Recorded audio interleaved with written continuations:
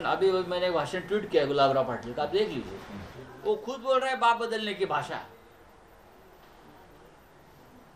जो लोग बाप बदलते हैं, उस बारे में उसने जो एक वक्तव्य किया है, वो बहुत ही मार्गदर्शक है।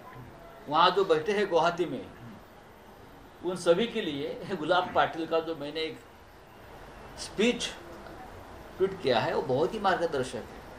कैसे कैसे लोग अपना बाप बदल लेते हैं, बेईमान होते हैं पार्टी में खाते हैं, पीते हैं, बड़े होते हैं और अपना बाप बदल लेते हैं। हम बाप बदलने वाले में से नहीं है।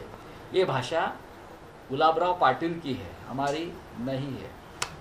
और फिर एक बार मैं कहता हूँ, जो लोग 40-40 साल से पार्टी में रहते हैं और भाग जाते हैं, उनका जमीर मर गया, आत्मा मर गया है तो क्या बचता है? ज़िंदा लाश।